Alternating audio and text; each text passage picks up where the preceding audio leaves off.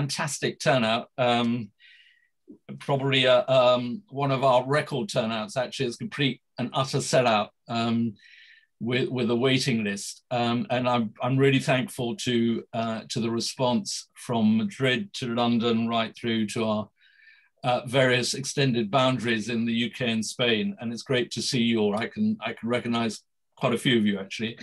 Um, I will um, be sort of nominally chairing this evening. Um, we've got sort of three fantastic uh, speakers and panelists. Um, um before I, I, go into the sort of heart of the matter, um, I wanted just to uh, tell you a sort of good news, which is, um, and I'm sure I'll remind you at the end of this, but in case any of you skive off, which I doubt very much um, before the end because you've got screaming children or your paella is overcooking or whatever. Um, the um, Bloomsbury, which uh, the publishers of uh, Giles's book, uh, has very kindly agreed to a, a 20% um, uh, discount offer on, on his book, um, which is this massive um, 600 pager, um, which I only just finished uh, about an hour ago um, and uh, which which is a great deal. And um, all we, you'll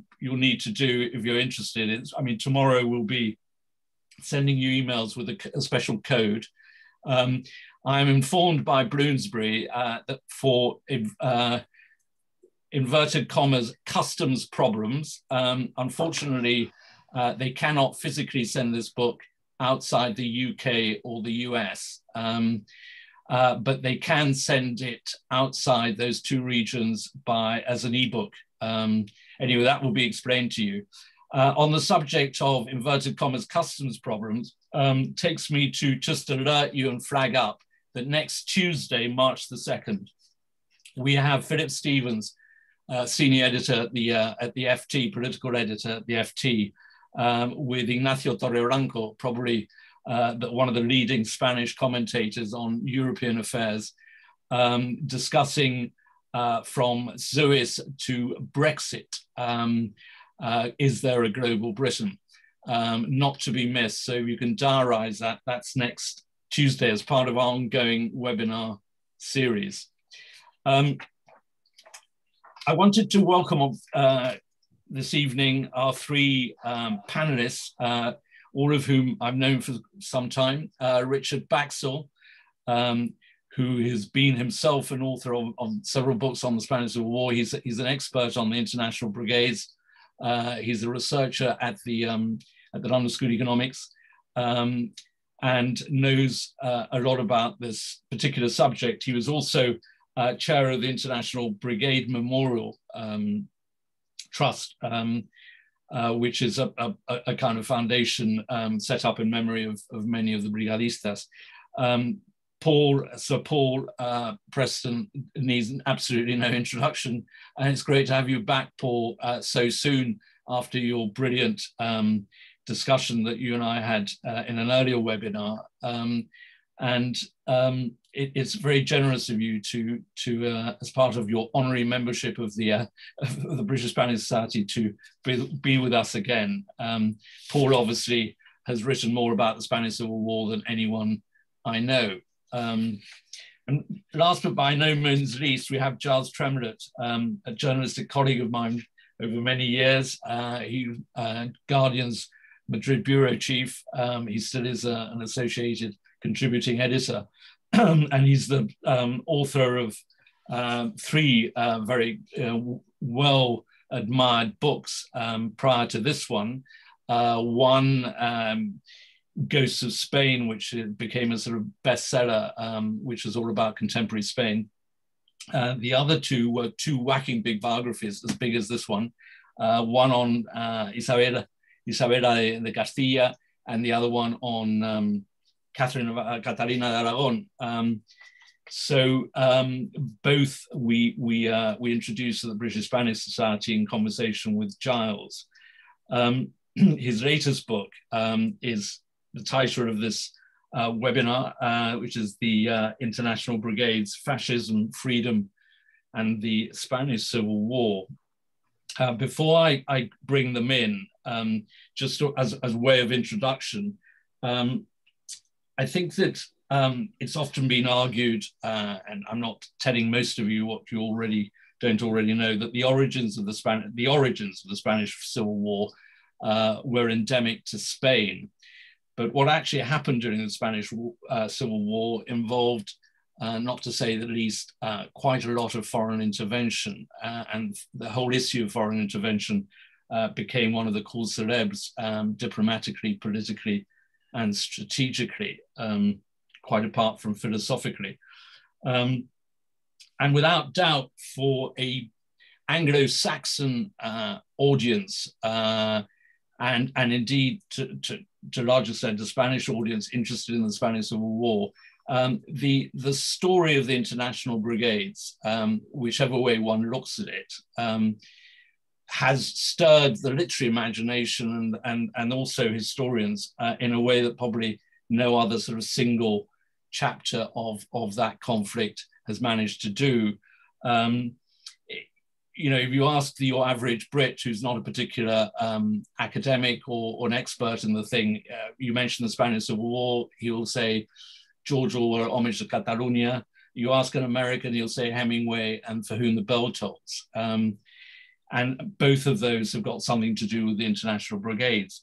Uh, the detail of it has obviously been the subject of a lot of controversy, um, which uh, I won't go into here, but suffice it to say that in terms of contrast, one needs to go no further than to quote Dolores Ibárruri, uh, the famous Pasionaria, delivering her famous uh, farewell speech to the 13,000 brigadistas as they left Barcelona in October um, 1938, uh, in which she um, uh, loudly said in Spanish, You can go with pride, you are history, you are legend, you are the heroic example of the solidarity and the universality of democracy. We will not forget you. And when the olive tree of peace puts forth its leaves, entwined with the laurels of the Spanish Republic victory, come back.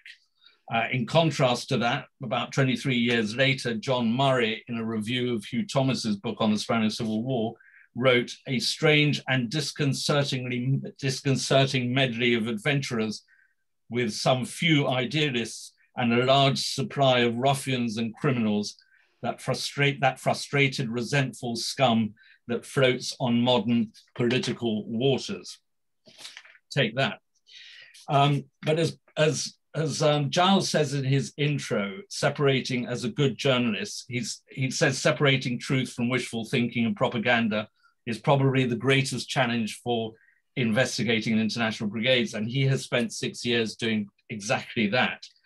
And um, I have to say, having just finished this, as I said about an hour ago, um, that this is an extraordinary piece of work. Um, as, a, as, a, as a journalist uh, judging another journalist, it, it's just a gripping journalistic narrative. Uh, you feel as if uh, at, at, many stages in the book as if you're actually in the battlefield. I mean, most extraordinary, uh, colorful, but also detailed um, and research stuff. Uh, one point. Second point, uh, we can go into, we'll go into this in the discussion. Um, I find it extraordinarily objective and fair uh, for reasons that will probably uh, become clear in the discussion. Um, and thirdly, um, I, I, I, take my hat off to him because, um, and also slightly envious because he managed to, to get hold of some rather interesting uh, Soviet files, uh, which became available only six years ago. And that's the, what one calls treasure.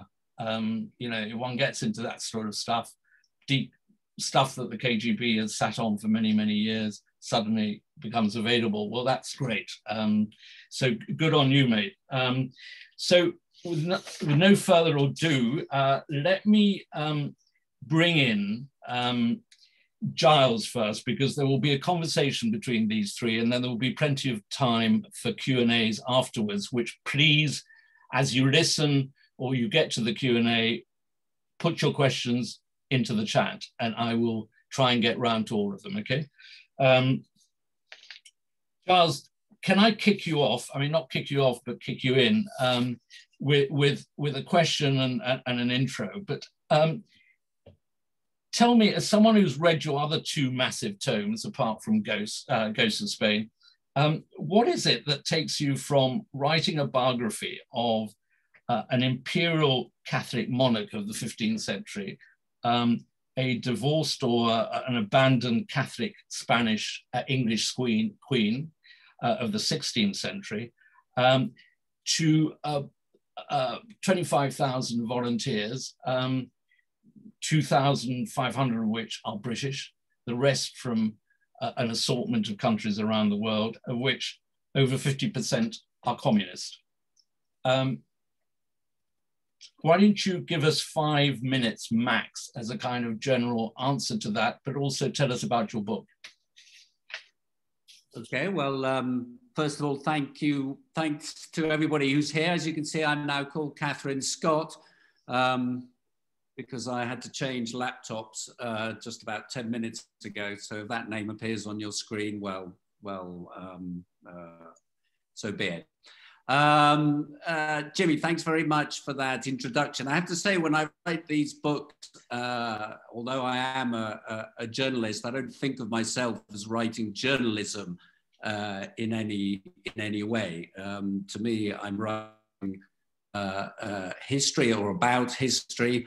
And um, uh, while you know being a journalist is a very useful thing when it comes to to writing a narrative, um, um, you know, I try to um, uh, think in those in those terms. It's then up to historians to decide whether I do a good or bad job, but um, um, that's certainly the the intention.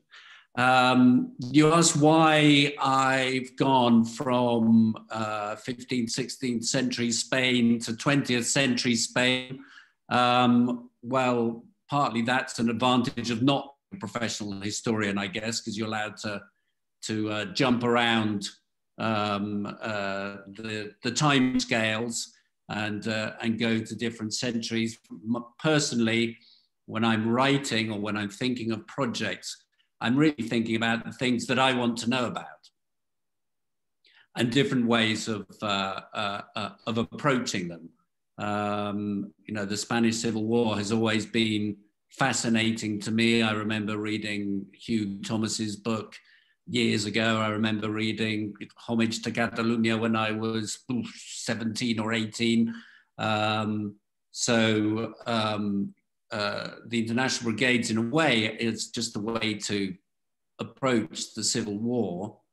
But also, you know, over the years, I did actually meet quite a few brigaders as they came through came through Madrid. Um, and so that in itself was interesting because they were quite a remarkable bunch. Those who've met them, I think, will uh, uh, will agree with that.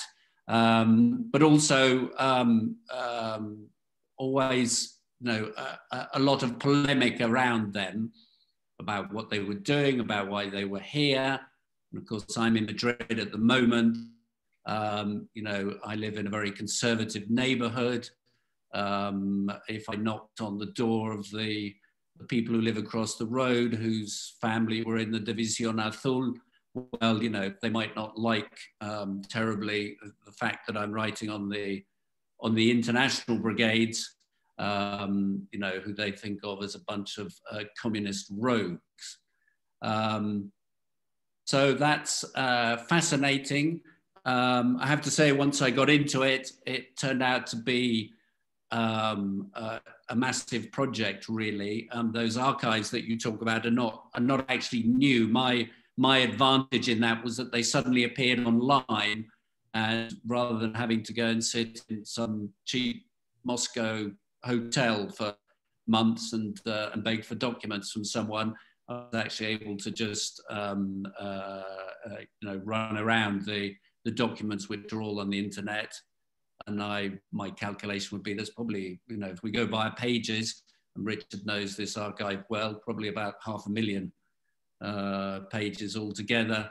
And then I went to archives in Warsaw, in Amsterdam, in London, in New York, in uh, Stamford, uh, around Spain as well. Um, so that's all been uh, fascinating. But of course, the other thing you have to do when you're writing about the international brigades is not understand what's going on in Spain. You have to understand what's going on in the 1930s in Europe, in the Americas, almost everywhere, because because your international brigaders come from these uh, uh, 60 odd countries as they were then, if we count them now in terms of um, uh, uh, countries that were colonies or were part of larger entities like Yugoslavia, well, we've got probably more than 80.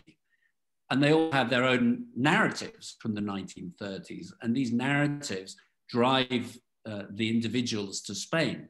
And so you have a very complex web of, uh, of, of reasons for coming to Spain. And that web in itself actually paints for you uh, a picture of what the 1930s was about. Um, and, uh, and I found that very, uh, very satisfying. Obviously, also immensely hard work to, you know, you suddenly go, oh my God, what was happening in Poland or Hungary or, or you know, or Czechoslovakia, and and, um, and the answer is very different things in very in a, in uh, in the different places, but also in the larger sense that we're in the sort of post the post First World War meltdown, uh, in the sense that the you know the, the post World War One arrangements are beginning to fall apart uh, in many places, actually in uh, in Europe, and um, and Spain is sort of you know where it all kicks off um, uh, as we head into into World War Two. Um, so all that is fascinating. Uh, I'm also very interested in all the uh, sort of internal fighting, uh, the infighting in the brigades, which has been written about a lot, perhaps too much. Um, but even more than that, I think what I've tried to do is, a, is what I call warts and all uh, study. In other words, I'm not interested in glossing over the bad stuff. And I don't think there's ever been an army of 35,000 people where there hasn't been quite a lot of bad stuff uh, going on. And that is all there in the book. Um, but at the same time, you know, I wanted to be there so that then the rest of it is believable. And the rest of it is sort of rather uh, remarkable. Uh, these 35,000 people that contemporary um, um, uh, observers, uh, the journalists, you know, looking for comparisons could only find uh, the Crusades as, a sort of equivalent volunteer, multinational, transnational national army. Nowadays, we'd point to Al Qaeda, perhaps, or Daesh, or other, or other uh, things that have emerged since then. But um, it was a very unique phenomenon, and um, and the truth is there are 35,000 individual stories in there as well, which obviously one can't cover all of them by any means. But, um, um, you know, it's a very uh, rich tapestry, shall we say. And um, so I've just tried to, you know, sew it all together. Thank you, Charles. As a as a kick off the uh, for the the conversation, um, Richard, um, you you've written a, a, you know among your books you you have done a lot of research of yourself uh, in international brigades, and, and as I mentioned, uh, as part of your chairman of the trust, you've spent a lot of time with the brigadistas. Um, I mean, coming to Giles's book and what he's written, um, I mean, how would you sort of pick out what for you uh, is sort of over old stuff, and but more positively, what would you say really stands out? Well, I was going to ask Giles exactly the same question. Um, there is a huge historiography on the international brigades that goes obviously right back to the war itself. Um, so there's been a lot it tends to the material that most of the material that's been written for many years tended to be very binary. It was either very much taking one side or the other. And I think what Giles has picked up on well is that's been there's been a temptation that's really been driven by the opening up of these archives in, in, in Moscow, that there's been a more nuanced, more balanced approach to looking at the brigades, exactly as Giles was saying there, that it is about looking at them with a kind of warts and all approach. Because to see them, you know, to argue that everyone was a hero or that they were the Dukes of Moscow is to, is, it's not, the story is not that simple. Um, and I think what Giles does well is that he brings in lots of portraits of individual figures who give you a sense of uh, give you a sense and provide color and give you an idea of what the people were actually like. And i think in many of the books that have been written up till say the 1990s there tended to be a, a, a tendency for caricatures caricatures overly heroic literature, particularly before the fall of the wall. And I think I think Giles is kind of continuing on that trend of of having a more balanced approach. And for me, that's the most important thing to be able to to look at them as objectively as possible. Obviously, we all have our own particular biases, um, and those figure into the history. Um, I'm not saying that we don't, but I think actually I think Giles does a fairly good job I think, as you said earlier, of being objective.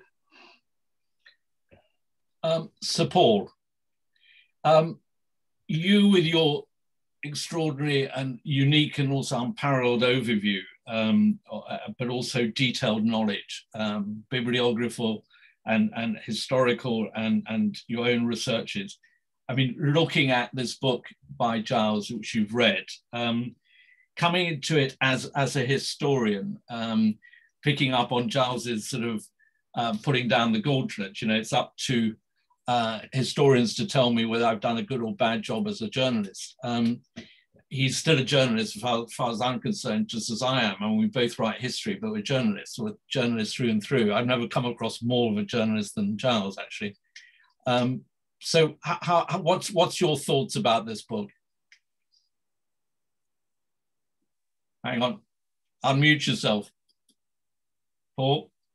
This is your your lot muted me. I don't know why. Anyway, I mean, I, I don't, in a way, I think it's a sort of false um, contradiction or contrast between, you know, a good journalist is someone who, for me, is someone who writes the first draft of history if it so you, I would hope that what us journalists could bring to any historical work is readability. I think that's absolutely crucial.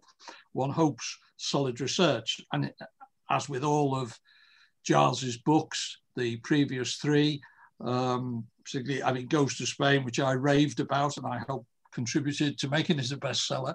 Um, you know, he does write beautifully, and his research uh, is impeccable. As far as the international brigades are concerned, uh, I mean, for me, it's kind of odd. I, am in an odd, a rather odd situation. Like I was at the, in at the very beginning of the creation of what became the International Brigade Memorial Trust, and I knew a lot of the British brigaders, and over the years have met Russians and, and, and you know, Mexicans and, and, and, people from other, you know, volunteers from other countries.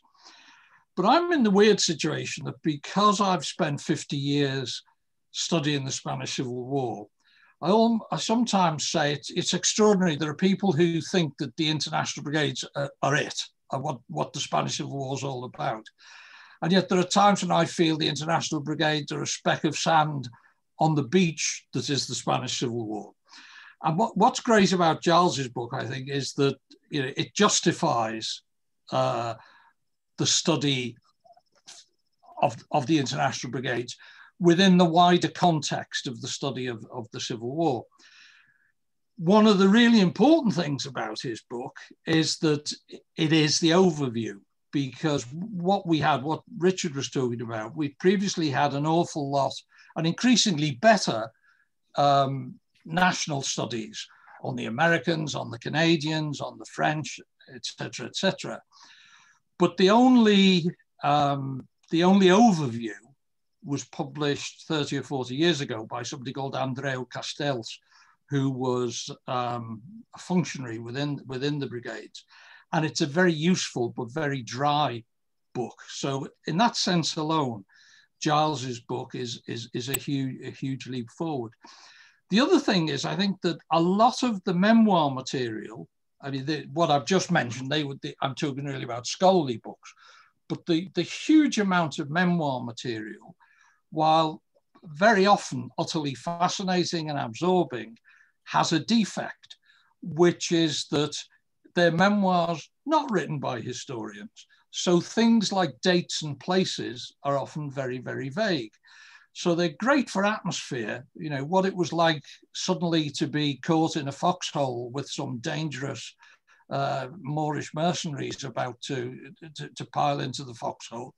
They're brilliant for that. But there are very few that are based on diaries. And the ones that are based on diaries are the ones that are, are really useful for the historian because you can kind of follow, follow the detail. The big gap, and I think something I was talking to Richard about earlier, and we've actually talked about a lot over the years. And this is really a really difficult issue, and I'd, I'd love to know what Giles thinks about this. The, or I get the impression from my reading that just although on the on the other side, the Moorish mercenaries were of immense use to the Francoists, obviously as an instrument of terror um, and, and, and in many other ways. But the the attitude of the Francoist high command was these are scum, they're dispensable uh, cannon fodder, you know, and, and they were very careless with the lives of these of these mercenaries. And sometimes I get the impression that the, the attitude of the high command of the general staff of the Republican Army wasn't that different in respect of the international brigades. There's a sort of feeling, you know, this is our war. Why do we need foreigners? Now, while the general populace was their morale was boosted no end by the fact that people from all over the world came to help them. I have suspicions about the attitude of, of the general staff. And what I never see, you know, there's this attitude, oh, well, you know, um, they don't they don't need rest periods out of the front line. Um, they could be paid peanuts, you know, they, they, they tell with them where food is concerned, you know, that they weren't treated all that well by their military superiors. Um, and I may be completely wrong about that, but it is interesting that when one reads the, the memoirs of the senior military staff, the international brigades hardly get a look in. So I've been interested to see if, if Giles thinks I'm abs talking absolute rot or would he agree? Um, well, I think there are two things going on there, aren't there? One is um, uh, whether they were badly treated, and the other is how important the Republican Army considered them to be. Um, I really don't think they were treated any worse than anybody else, actually. It's, you know, it's, the, it's almost the duty of every soldier to grumble about anyone who is above them in the chain of command and uh, you know, and the international brigaders were very good at it, and uh, and and complained mightily uh, a lot of the time. But I'm sure that you know that the, the the Spaniard in the next trench along was almost certainly doing the doing the same thing, or even worrying about whether these foreigners had got better gear than us because where the hell did they get all that? And are the Russians, you know, making a special case out of them? I don't have any evidence of that. I'm just saying that it wouldn't surprise me at all if that if that sort of thing was uh, was going on. And then, of course, you know, within the brigades, everyone's complaining about every other nationality uh, or about other other you know political currents, and there's all sorts of other stuff going on. But I really do think that it's you know it's the lot of the uh, of the soldier um, you know to to basically win uh, uh, uh, a lot of the time. You're bored, uh, you know, 95% of the time you're not actually doing anything. And the other 5% of the time, or 1% or 2%, you're terrified and you don't actually know an awful lot about what's going on. So when you were talking about the, uh, about the memoirs and the diaries, um, uh, I agree with you. The memoirs, most of them are sort of, you know, to be, you know, to be taken with uh, as they would say around here. Um, but the diaries are great. On the other hand, sometimes they're written by people who really don't know an awful lot about what's going on. They just know what their tiny little section of the front looks like. So even now, I have arguments with the with the Abraham Lincoln uh, Battalion people who think that they attacked the Pingarron, uh, and I don't think they did. I think I think that was attacked by um, um, by Spaniards, and that and that the Americans were simply part of a sort of diversionary attack, which was nearby. Um, and they were told they were attacking the Pingarron and said, okay, well, we're attacking the Pingarron. And then it went down in sort of, you know, in, uh, in the, in the, um, the folklore of the, um, of the Americans that that's what they'd actually done. Um, uh, and I really don't think that they, that they had done. So in that case, that's another reason for being, you know, careful about what the actual brigaders themselves uh, say. Um, as for what the um, high command thought of them, well, that's very difficult. I mean, we obviously we have moments like in Madrid when um, some of the sort of Comintern trained sort of natural propagandists are talking up Kleber, General Kleber as the um, as the savior of Madrid and that uh, really, really angers, um, um, uh, especially Rojo. Um, and then we get into a sort of really nasty sort of standoff between everyone. And the and they mentioned this new term, Kleberismo, which is sort of bigging yourself up, basically.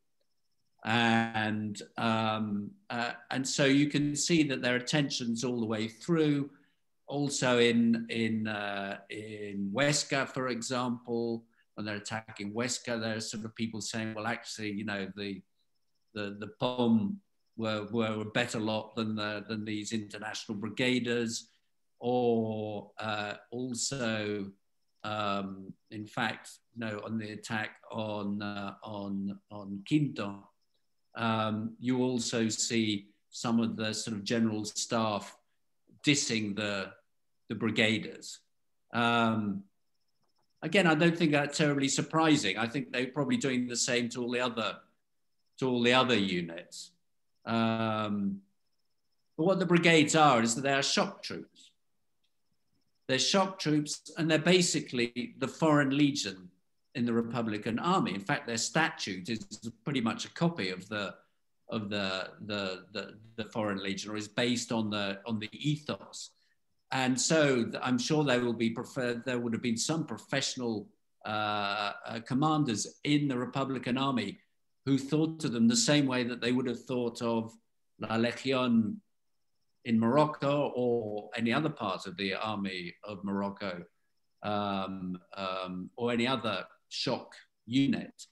And, you know, their task was to be thrown into the hardest spots um, at the most difficult moments and and basically to if it was an a, you know an, an, enemy attack, basically to be the first people to meet the um, the attackers head on, and that's a very costly business in human lives. It's also a very chaotic business because you turn up just as the whole thing's kicking off, and nobody knows what's going on, and that's we see that happening in uh, in Jarama, where people just sort of walk over a hill thinking they're about to take part in some massive attack and realize that no, it's the other side that are attacking. And now, so we've got to start defending. Um, uh, in Guadalajara, you know, people don't seem to know at all what's going on uh, to begin with. Least of all uh, the Italians.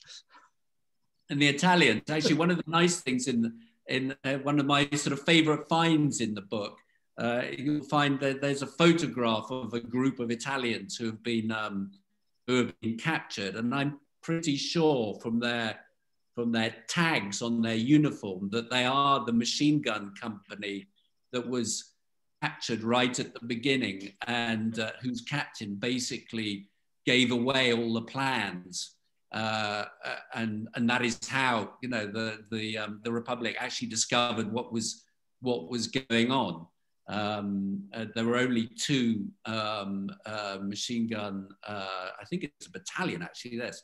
There were only two machine gun battalions and uh, Italian ones, and the Italian army very nicely put out a massive book uh, about the um, uh, about their volunteers, which you know allows you to get right down to identifying their their their badges, and um, so you know this looks very much like um, like that was them. Um, but the other question, which I know always comes up, so I might as well answer it now, is were they any good? Um, and, um, and, and did they make a difference? And I think the answer to that is that to begin with, uh, they weren't as bad as the rest, which made them good. Uh, that later on, uh, they were as good as the rest.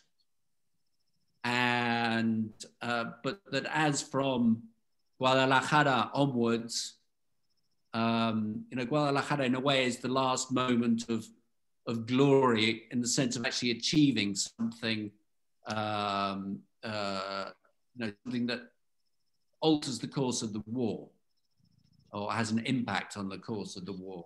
And after that, I think the rest of much of the rest of the Republican Army has actually come up to their up to their level. Everybody was learning on the ground. Um, you know, the Republican Army had to be uh, invented from scratch.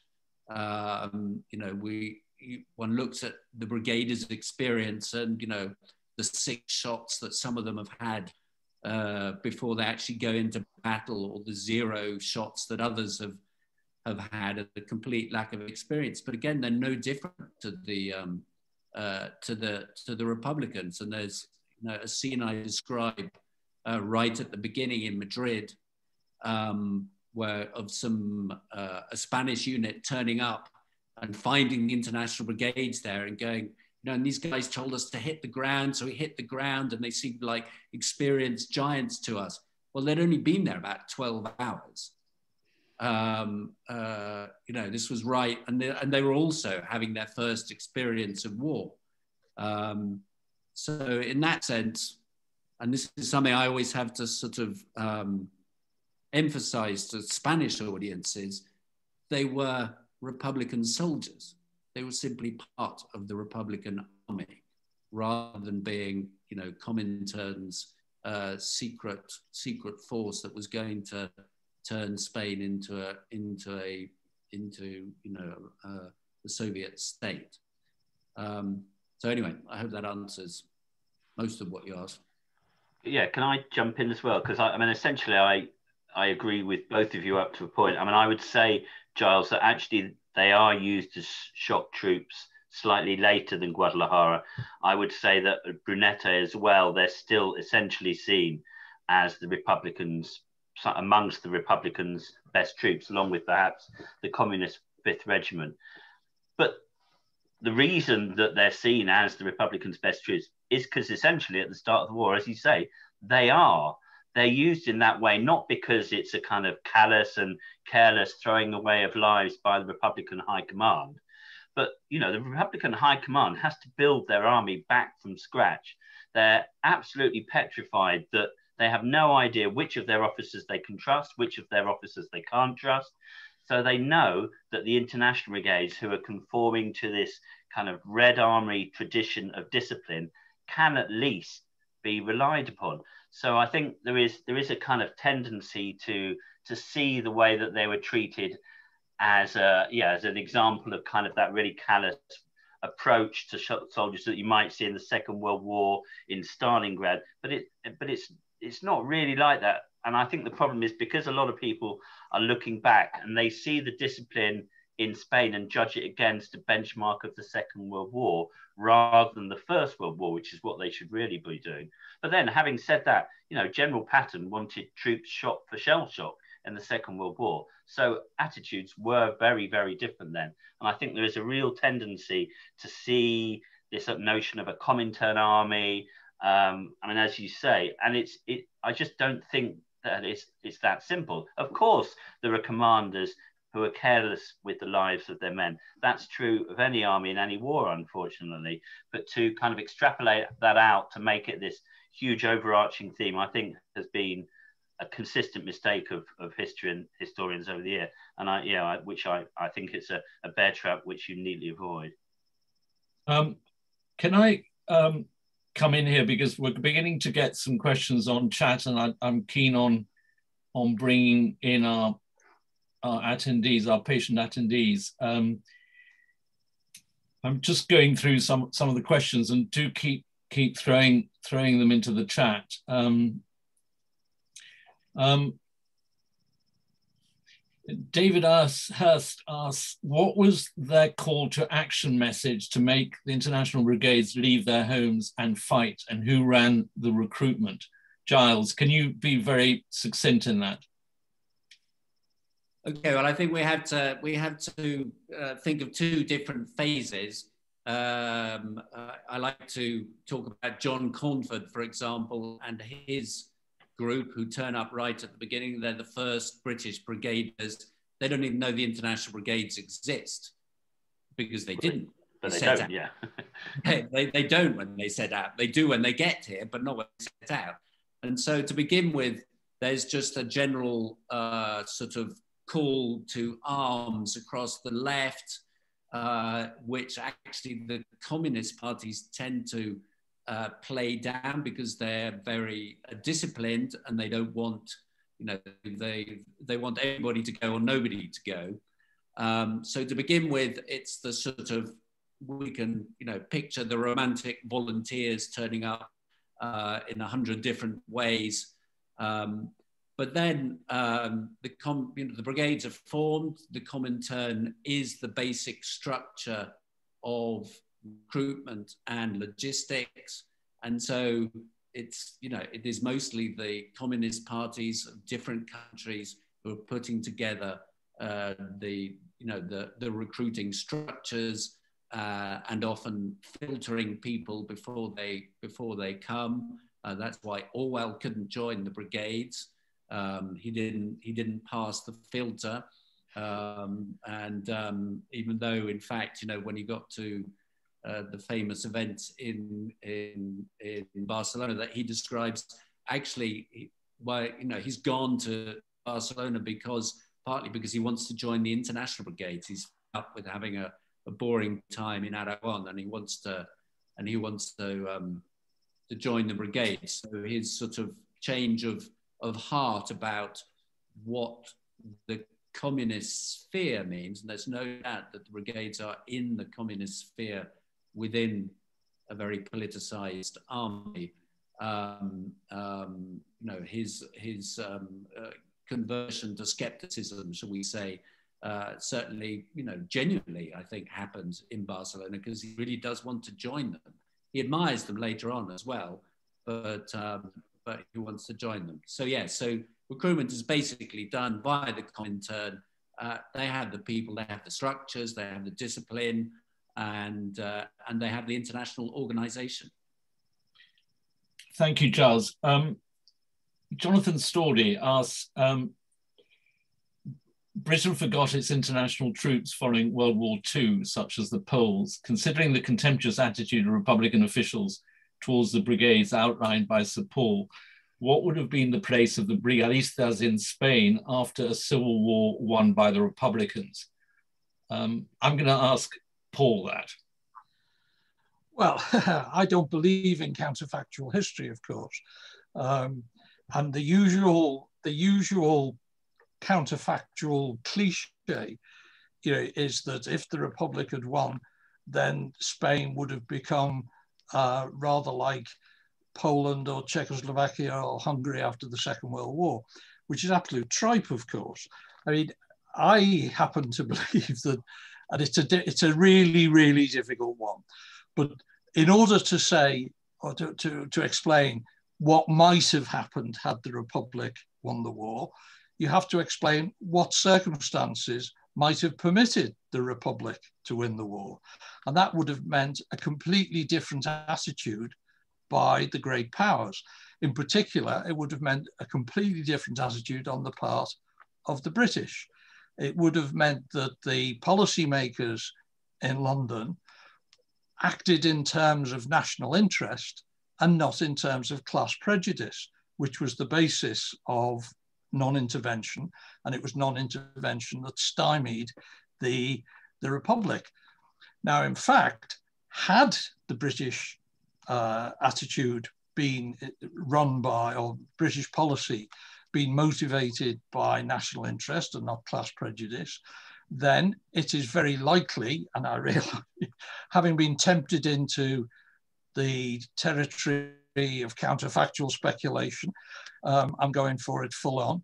I believe that the British would have uh, woken up much earlier to the threat of Hitler. The idea that Hitler could be used as a, as a Rottweiler against the Soviet Union, I think you know that, that, that, that it wouldn't have gone like that.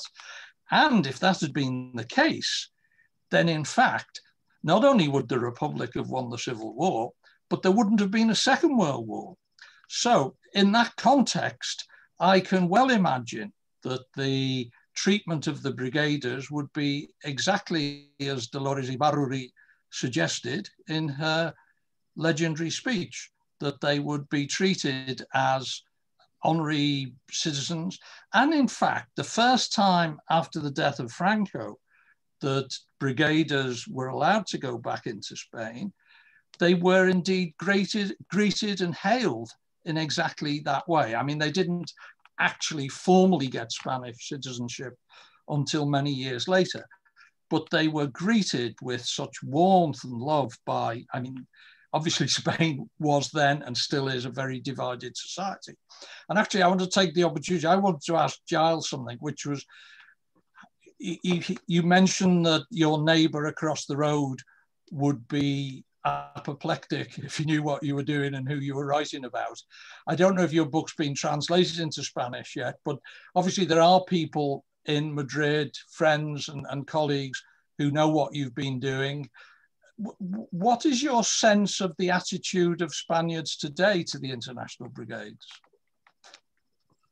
Well, it's very divided. So yes, the book has been translated translated into Spanish. They, that was done really very quickly, and uh, and uh, and it's done pretty well. It's in second um, second edition.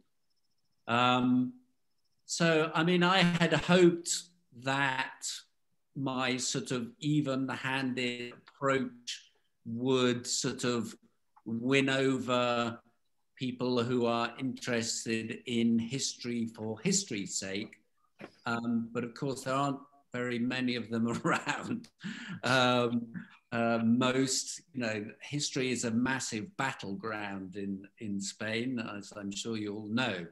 And, uh, and, you know, the international brigades form part of that. One of the reasons they form part of that is that Franco liked to go on and on about them. Um, you know, he mentioned them continually in his speeches uh, if you look at the, you know, the inauguration of the Valle de los Caídos, for example, he's talking about, you know, how we, you know, rub the, you know, the, the, the, the noses of those foreign Marxist hordes in the dirt, and that's almost a direct, uh, a direct quotation.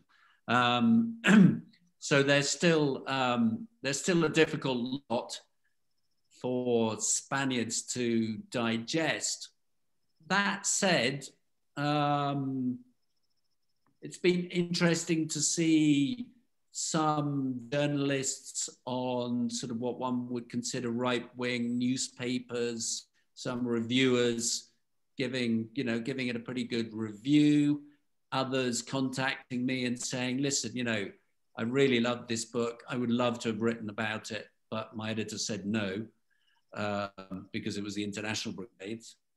Um, uh, and then and then on the left, well, there's a sort of there's a problem with, funnily enough, with the international brigades on the left, which is that everybody loves them, but nobody actually really knows anything about them. And so that sort of also leads people down different roads of incomprehension or simply not really uh, understanding what was going on. Um, and so, you know, for example, uh, I mean, all the Podemos leaders love the international brigades.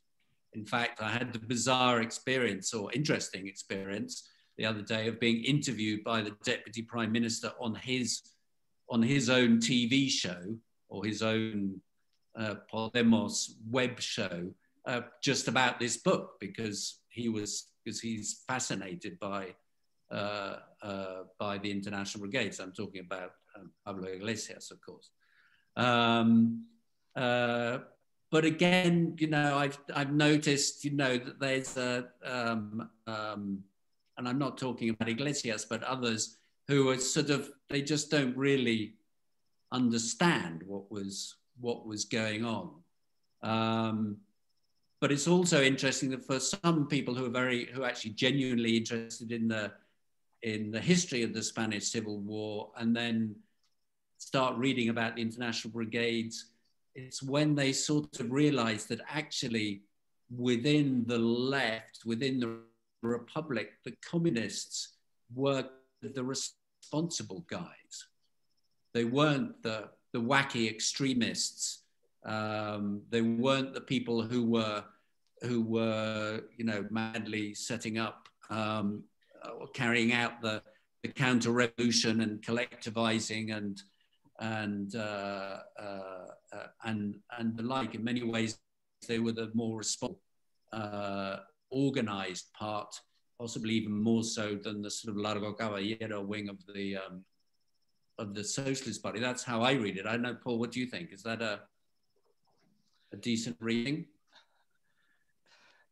Well, obviously, in terms of what you've just said, it the business about the the journalist who got in touch with you and said, loved your book, couldn't do it, rather reminded me when I did my biography of Santiago Carrillo, I, a lot of the reviews from people on the left were saying, yeah, Carrillo's a national treasure. How dare he be criticized in this way? And the same people getting in touch with me privately and saying, thank God finally someone's nailed the bastard. um, but anyway, the, it is. I mean, the problem about my my impression, I mean, over the years is everybody's got an opinion about the Spanish Civil War, but it's usually based on monumental ignorance, and that really is a problem when you you know over, over the number of people you have an intelligent conversation with about the Spanish Civil War. I'm not going to lose the whole audience now. It's, yeah, it's, Paul, Paul, can I can I just cut you off there because there, there are quite a few people we're getting absolutely inundated with questions, and I'm just quite keen on at least addressing some of them. Um, although I would uh, strongly dispute what you've just said, as you know I would, because uh, the, the, reason people feel very strongly about the Spanish Civil War is that most Spaniards uh, have relatives who died on one side or the other. Um, it's got nothing to do with ignorance. It's it's to do with personal human. I, I wasn't talking about. I wasn't talking about Spaniards. I was talking about um, anyway, okay. Um, another day. We can have an all uh, another, another day. We'll we'll get back to that one. But they're two, they're two sort of interesting or various interesting ones. But uh, one for Alejandro Batista Tejada, which in a sense has been touched on before. I think Paul, you you referred to it, and uh, all three of you in passing. But it's to do with the uh, when you've got this sort of huge subject and you're dealing with all sorts of things from archives through to mem- memorias to diaries, um, you are confronted by, among others, by first-hand testimonies, uh, especially told by Americans. And here with, you know, Giles, in your book, you're pretty visceral and probably quite right about Hemingway and Martha Gellhorn. Um, could you very briefly um, sort of up some? Um, because I mean, you know, Gellhorn didn't believe in anything like journalistic objectivity. I mean, she said so. She's got you, you quote her in a wonderful way. And Hemingway spent writing very good novels, um, pretending that the um, you know for whom the bell tolls was uh, uh, had a, a, true Abraham Lincoln guy, uh, and the Abraham Lincoln people said it was a load of toss, you know. But you're, you're very good on, on in that particular chapter. Could could you uh, just up some that? Yeah, yes, Jamie. But um, the question from the um, the original question, what was it exactly? From well, are first-hand testimonies, especially told by Americans, not to be trusted? Um, Okay, so first-hand testimonies are to be trusted uh, in in the very small scale sense that person A experienced these events. Um, whether person A is then capable of of describing that factually in terms of geography um, uh, and uh, and the rest of it, it then becomes more more difficult. And really, you need you know you need two sources on anything before you can really be uh, be sure. And you know, not, and certainly not a memoir that's written 40 years after the event, which many of many memoirs were written, you know, decades afterwards. Um, uh, no, I mean the number of sightings of Tito, Marshal Tito from Yugoslavia. Eh, you know, I've come across about three or four sightings of him, but he was never in Spain but these are people in their memoirs, you know, saying that they've seen the saying that they've met him. So, so um, you know, you have to be very, very careful. I sort of, you know, when I think of of, of what in in of what that means in terms of of the work, I sort of think of it as you know building a, a sandcastle out of grains of sand, where you know you really do have to you know, just take very tiny bits and, and put them all together before you can build a picture. Or perhaps, um, you know, pointillismo in, you know, all these little dots, all the little facts, and then you paint your picture with the, with the facts. Of course, everybody could rearrange those dots and paint a, a different picture, but, you know, that's, that's what you got. I've got two two uh, questions which are, are, related. It goes back to the issue of when the literary imagination uh, and cinematic uh, imagination uh, encroaches on, on, on history and to what extent it, it's an accurate reflection or, or not. Um, Mark Penfold um, asks, what is your view of, of how the international brigades have been portrayed in recent historical fiction? I'm thinking particularly of the Falcó series of novels by Arturo Pérez Reverte. Uh, and related to that, Mercedes Porcel Martin uh, on, on the film front uh, obviously refers to Ken Loach's film Land and Freedom, which I'm sure lots of you have seen. Uh, to, to what extent does that portray the IB historically and accurately? Um, I mean, Richard, do come in there if you like. Yeah, sure. Well, let's let's start with Ken Loach. Um, I mean, he did obviously he didn't write the screenplay. That was Jim Allen. Um, I would say, well, in fact, I know because I spoke to him recently that his attitude towards the film now is slightly different to what it was when it came out. His judgment about the international brigades now is is slightly less critical, although he's still, you know, he still essentially sticks to the same line that he always does, always has done in terms of the revolution, whether it can be the revolution forward or whether you need to just prosecute the war and and have the, the revolution later that Orwell goes in into in his book. Um, he's now changed slightly. I mean, he's always been, to be fair to him, he's always been quite supportive to the brigades, uh, but he is now he has now become much more so. Um, because I, I mean, I don't think there's anybody that's seen that film that knows about the international brigades and knows the story that that doesn't know that in fact that the ending is not is not accurate. It's true. I mean, we, we all accept that within a film, it's cinematic and you allow a certain license. The problem the problem with Land and Freedom in a way is is really related is related. It all comes back to Orwell in that everybody tends to see Land and Freedom as a kind of cinematic version of Homage to Catalonia. And it and it's not. It's not that. It is it is a film and it needs to be seen as a film. Um, and films are always going to be problematic if you expect them to be accurate portrayals of history. That's not that's not what their job is. If you want that, you read a book, you go to a documentary. If you if you want an accurate portrayal of history, you're not going to get it from a film. You have, you know, we're talking about how you have to view sources really, really carefully. You have to sift through and balance and and decide which you use. You know, if you're looking, if you're trying to do that with a film, it's you know, it's a it's a mugs game to be honest. Um, Giles, what about you know, the point about Arturo Pérez Reverte? I mean, you know, his his series of novels. I mean, or, or generally historical fiction in in Spain um, in the last sort of say ten or fifteen years. Um, I mean, do, do you think uh, it accurately reflects what's going on, or, or do we fall into the sort of binary um, debate that you've you've referred to before and Paul was referring to before? Uh, Jimmy, I'm going to pass on that question. I don't think I've read enough of the of the books you're um, you're. Do I, any of your any of the panelists want to Paul on, on literature? Paul. Yeah, I mean, overall, I do not like fictional accounts of the Spanish Civil War, uh, particularly the ones that bring in real politicians, real people, because I find when I'm reading them, I'm kind of tearing my hair out saying, oh my God, Negrin would never have said that, or Azaña would never have said that. So I, I, I, I do find them um, rather problematic. As far as Hemingway is concerned, many years ago, I mean, many, many years ago, uh, I ran a seminar at which I brought the last surviving uh, commander of the British battalion, Bill Alexander, together with the last surviving commander of the Abraham Lincoln Battalion, Milt Wolff. It was not a happy meeting. Um, it, it, they ignored it, each other, I seem to remember. Yes, but what was interesting at one point, someone I can't remember who it was said asked uh, Milt what he thought about Hemingway, um, and he just sneered and said it took him quite a long time to say these two words. He just sort of said, fucking tourist, which in many respects, rather, you know, um,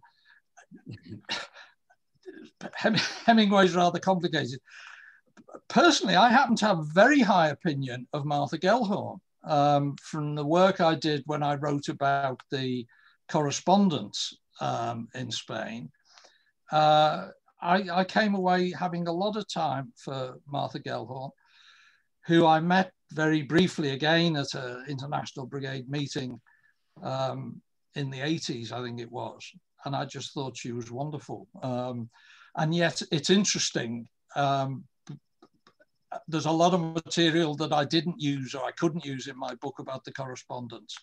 And the snide remarks about Martha Gellhorn from other women who were involved are quite remarkable. But I think they were more to do with uh, she had long legs and they didn't. Um, there's so much more that we could discuss, but we're, we're, we're now um, at, at, over 10 minutes and um, I'm going to wind up quite soon. Um, I think, um, Giles, I'd like to sort of um, let you en end up really. Um, just picking up on on uh, and, and uh, I think there's there's still two or three outstanding questions which um, I just don't think we're going to have time for unless we went on for another ten minutes. Bundle them up, huh? bundle them up in one, and I'll try and answer them as I sum up. Um, yeah, I mean, I'm I'm basically reading through them and trying to get a sort of a, a, an up someone, um, and I think probably um, it, it it bats back into something that that Paul said, uh, which is that the, the enduring debate really um, you know the international brigades what was it a speck in the sand or not um, because i have to say you know my my it's not a criticism but you know when you've when you finish reading a book this size um, you know you end up sort of wondering you know all right you have a lot of Moors uh, as as Paul was referring to, you know, the mercenaries leading the charge on their on their Moorish mares and getting into the trenches and things. There's quite a lot of that. Um, uh, but you don't really get any sense of the humanity of the other side um, at any stage. Um, and war is, is a pretty bloody business on both sides.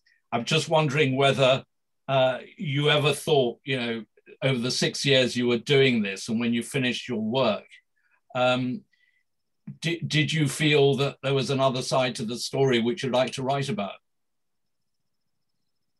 Um, not especially, to tell you the truth. I mean, it's it's very. There are a few testimonies from, um, and I was, and I certainly, you know, looked out for any any evidence that I could find of the other side talking about the international brigades. And, um, and in fact, there's a very heroic episode uh, where some, um, I think, Canary Island captain basically stops the 15th and 13th brigades getting up the hill at, uh, at Brunete uh, with just a handful of sort of typists and, uh, and, and drivers who've been kind of rushed to the rushed to the front, and that's and that's very interesting. Um, but you know, once you've done a war, you don't really want to go back and. uh, in my for, for me, I don't really want to go back and, and do it again from a from a from a different perspective. Um, um, you know, being sort of, uh, I, I, feel as though I spent quite a lot of time not not in the trenches, but with people who've been in the trenches, if you know what I mean. That's quite after a while gets to be quite um, quite taxing. So, uh, is there another side to the Spanish Civil War? Of course. Um, um, if I was going to suggest another book on volunteers fighting somewhere from Spain, there's actually an incredibly good book on the División Azul. If every, anybody ever wants to read it it's, it's really exceedingly well written and very and very and very fascinating. Um, so in you know in that sense, I'm interested, but not to the extent of wanting to write about it myself. Thank you very much. I mean, just hand on heart, just to finish off, hand on heart. Um, would you say this this plays to what you felt at the end of writing this book? The International Brigade is in some sense fighting for all of us a thin line of suffering and often ill-armed human beings standing between barbarism and at least comparative decency? Uh, yes, yes, I would. Uh, the international brigades, to me, uh, um, signify the the people who could see what was coming, or, or at least were prepared to uh, risk their lives uh, to prevent what eventually was going to become World War II. I mean, I'm simplifying exceedingly. Um, but, uh, you know, as Paul said, if they'd won, maybe we would, we would have had World War II. And, uh, and, and in fact, you know, my thesis about the brigaders themselves is that they did win. They just lost in Spain. They won at the end of the at the end of World War II because above all, what they were was anti-fascists. And, and those who made it to the end of World War II could certainly say that everywhere except, unfortunately, in Spain, that, that they'd managed to they'd managed to do that.